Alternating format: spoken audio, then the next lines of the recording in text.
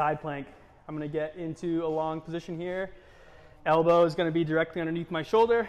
I'll Pick my hips up off the ground and I'll stay in a nice straight line, okay? So that includes the head, the trunk, and the legs are all gonna be in a nice straight line.